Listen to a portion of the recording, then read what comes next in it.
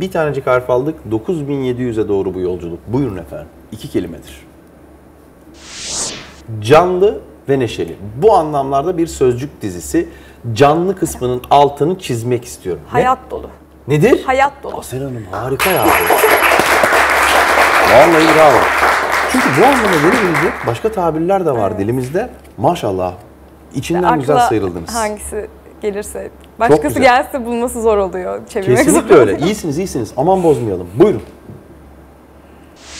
Gerektiği gibi, gereğince, hak ettiği biçimde. Tek kelime, bolca ekle. La Layığıyla. Oluyor mu? Sığdıramadım. sığdırdılar mı? Layığıyla. Layıkıyla. Buyur, layığıyla daha güzel. Yerini daha güzel. Pardon. Son iki soru. 1 dakika 45 saniye. 9700'ün üzerine ciddi de bir süre arttıracaksınız. Rakiplerinizin bir gözleri değişti gibi. Dur bakalım. Gelsin efendim. Gelsin. Sondan bir önceki sorudur.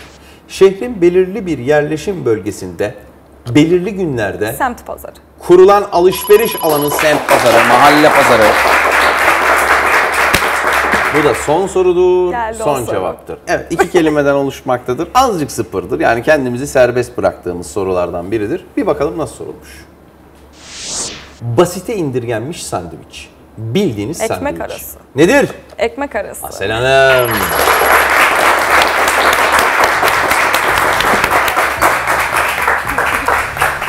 ...9700 spor olsun diye bir tanecik harf aldılar. Üzerine bir buçuk dakikadan fazlasını arttırdılar. Sükutu Beyciğim kolay değil. Ama imkansız da değil Asel Hanım. Siz yine bir kuvvetli alkış alın. Arkada biraz hop oturup hop kalkın.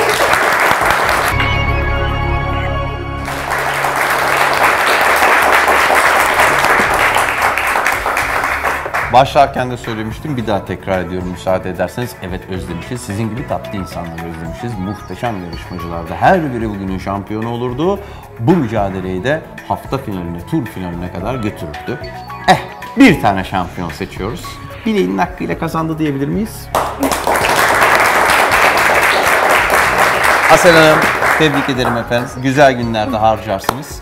Hafta finalinde bu güzel grubun temsilcisi olacaksınız. Yeni başarılarınızla ki inşallah o 9800 olacak. Onlar da gururlanacak değil mi? Evet inşallah. Eksik olmayın. Çok teşekkürler.